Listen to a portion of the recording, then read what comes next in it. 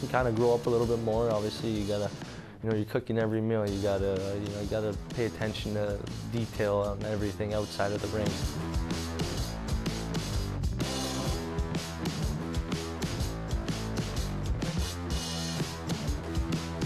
AHL rookie Trevor Murphy says he's been learning a lot of life lessons this season. Looking back, Murphy credits coach Todd Lalonde with helping him and his one time teammate standout Florida Panthers defenseman Aaron Ekblad. He treated us like men. It was, uh, you know, we were little kids and he was treating us like men. He was, we were playing the game of hockey with the, the game of hockey, how we were playing it on and off the ice um, was, you know, like they do in the NHL, but we were doing it at such a young age and it was kind of cool and it was a good experience to get that. Murphy remembers Lalonde telling him that he wanted to see him playing in the NHL someday. You know, I just kept pushing and, and he was a guy that always, you know, said, you know, you, you're good enough, you, you just got to keep going, you're a little guy, you got to you got to stay mentally in it because if you mentally get out of it, it's going to bring everything down.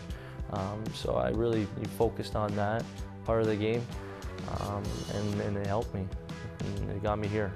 The 20-year-old Murphy is one of the youngest players on the Admirals roster and one of the smallest. 5'11 and now 180 pounds, Murphy went undrafted in 2014 and 2015. He attended the Predators prospect camp over the summer and signed in September.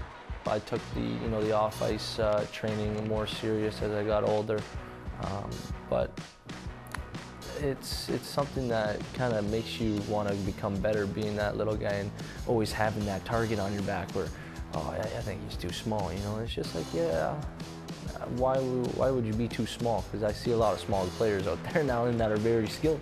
You know, uh, I feel like the game has changed to you know speed, skill, smarts, and uh, if you got that, then you're good. Those attributes appear to be serving Murphy well. He's put up impressive stats while helping the Admirals have an excellent season so far. Murphy seems to have a keen understanding of what it takes to be a pro.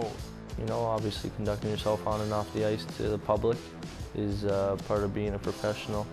Um, doing your job every night and, and being steady is being professional.